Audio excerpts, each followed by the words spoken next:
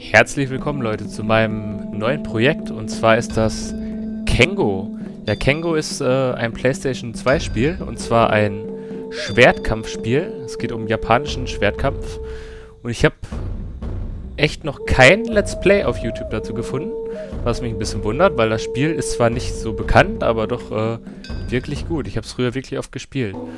Und daher wollen wir das jetzt mal anzocken. Die, äh, die Vorschau wirklich mal ab gerade. Ist nicht so wichtig.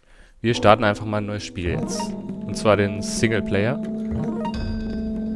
Und klicken mal gleich mal auf New Game. So, hier können wir uns jetzt einen Charakter auswählen. Wir haben drei zur Auswahl. Ich guck mal eben. Äh, schnelle Bewegungen und Kombos. Äh, relativ hohe Abilities.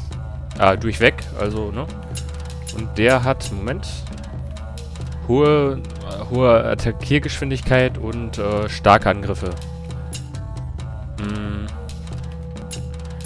Ich denke, ich werde den nehmen, aber rein vom Äußeren her. Also nicht wegen den Abilities oder so. Oder den. Ne, komm, ich nehme den jetzt. Ist auch egal. So. So, jetzt können wir uns äh, unser Dojo auswählen. Und zwar also quasi unsere Schule. Hier haben wir das äh, Muya, die Muya-Schule. Ja, ich kann, so gut bin ich nicht im Englisch. Steht jetzt, ich versuche mal so in etwa zu übersetzen. Also kombinierte Techniken und viele Formen haben die halt, die Muya-Schule. Gucken wir mal weiter. Die Suigetsu-Schule. Bla bla, mal eben gucken, durchlesen. Okay, so balancierte Technik mit ein bisschen Stärke drin. Ja, hier können wir uns halt jetzt eine Schule aussuchen. Kirschin-Schule, äh, schnelle Kombination. Muni-Schule, äh, auch schnelle Kombination und äh, spezialisiert auf einhändige äh, Attacken. Die Muishinien-Schule. Ja, Cunning Tactics and Trust Technics. Äh, ich glaube, das sind so Durchstoßattacken, also nicht so draufhauen, sondern eher so durchstoßen. Wenn ich das jetzt richtig verstehe. Und Udagawa Dojo. Äh, Ishin-Schule. Gucken. Okay, ja, auch irgendwie so starke Attacken. Weiter, okay, noch eine. Kumo Mushin-Schule. Blablabla. Okay, mit schierer Stärke. Das ist wirklich so die Haut drauf Schule. Denke ich, die nur auf Kraft setzt. Gefällt mir nicht so. Okay, na, da waren wir gerade. Da geht's weiter. Die Fudo-Schule. Okay, die bevorzugen ähm, große, schwere Schwerter, die mit fast einem Schlag töten können. Also, ja, wahrscheinlich dafür eher sehr langsam, kann ich mir vorstellen.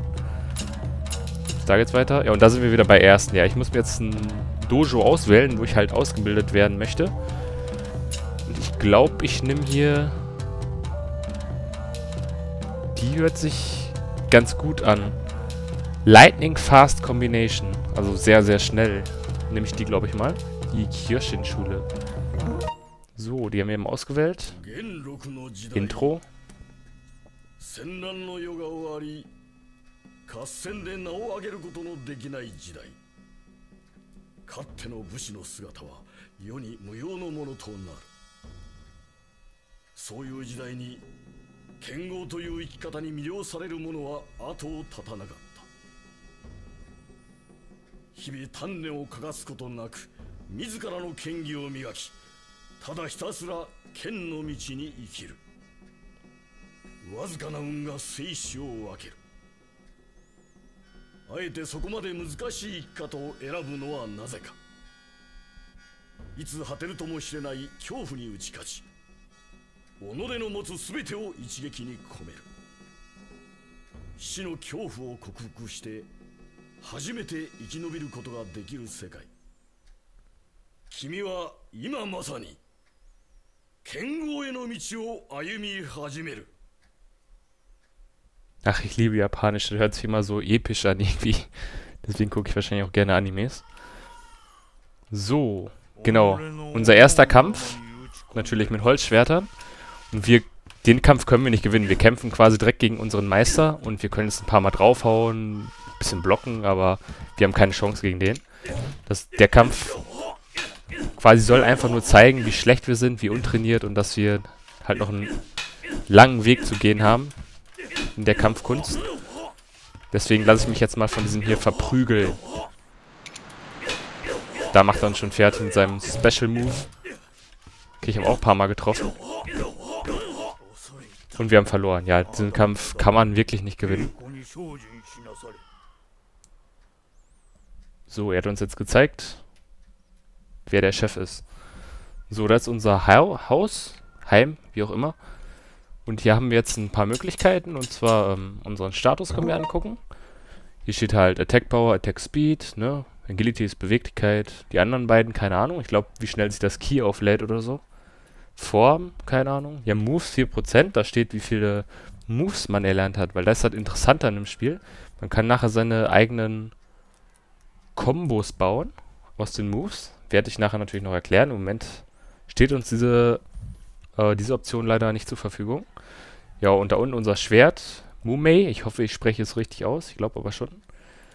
Ja, wir im Moment, glaube ich, nur ein Schwert. Und äh, halt durch Kämpfe können wir unsere Attack Power und alles bekommen wir immer sozusagen Erfahrung und können die dann hochleveln. Bis maximal 1000. So, aber dieses 1000 ist nicht fest, sondern die können wir, auch den, wir können dieses Maximallevel auch noch äh, durch Training verbessern. Also dass wir zum Beispiel im Endeffekt 1100 haben. Werde ich nachher noch zeigen. So, was gibt hier noch? Form, damit können wir unsere Kombos bauen. Zeige ich nachher. Unser Schwert haben wir im Moment nur eines. So, ich gehe mal zurück. Sleep ist für ähm, zum Speichern, aber da ich auf dem Emulator spiele, ganz legal äh, äh, angemerkt, weil ich das Spiel ja besitze.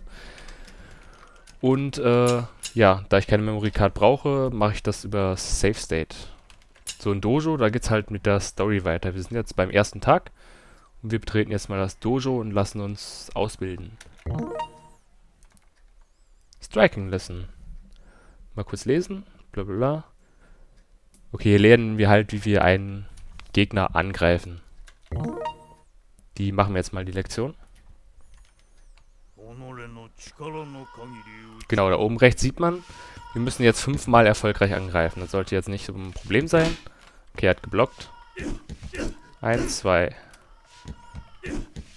ja, man sieht, wir sind im Moment noch sehr langsam. Alles mit einem Holzschwert und wir haben es geschafft. Das war jetzt nicht besonders schwer.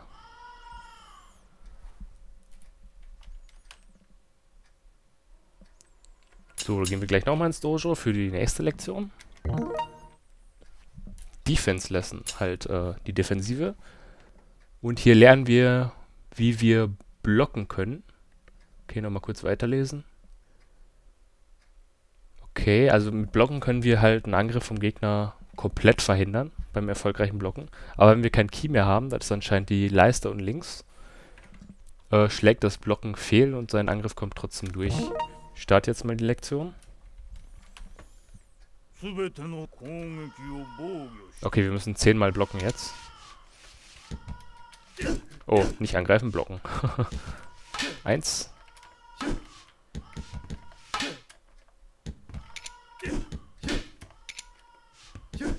Ja, komm, Schlag. Oh, da hat er mich einmal getroffen. Okay.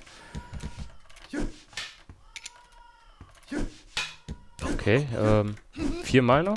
Komm, greif an. Los, los, los. Verdammt, ich wollte nicht ausweichen. ich wollte blauen. Komm. Jawohl, geschafft. Hallo? Wir haben doch schon... Okay, geschafft. Wir haben locker das Doppelte geblockt, würde ich sagen. So, jetzt können wir schon angreifen und blocken. Was fehlt denn noch? Mal gucken. Parry Lesson, also parieren. So, parieren mit äh, Viereck. Halt parieren, ja, werdet ihr gleich sehen, was das heißt. Zum Beispiel, ein Angriff macht halt einfach äh, umschubsen oder so. Zeige ich euch jetzt mal. Fünfmal. Parieren ist ein bisschen schwieriger. Komm. Das war parieren. Wenn man falsch pariert, ist man für einen Moment gestunt. Deswegen setze ich das nur mit Bedacht ein, wenn es wirklich klappt. Wahrscheinlich beim echten Kampf äh, setze ich das eher nicht ein. Ja komm, parier doch schon. Der ist aber am leichtesten zu parieren, so langsam Angriffe, die man vorhersehen kann. Komm. Der hier. So, einmal noch. Komm. Zack. Geschafft.